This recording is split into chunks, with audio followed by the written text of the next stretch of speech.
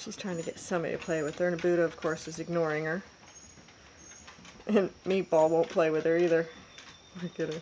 Oh, there he comes.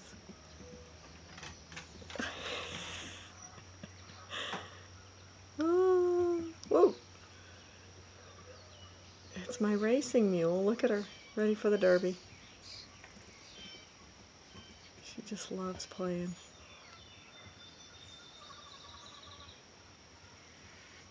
Go. Go Daisy!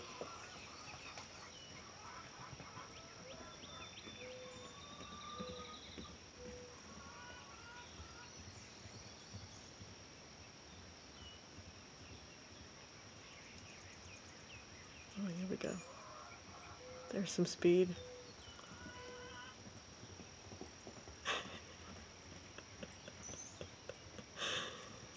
Oh my goodness.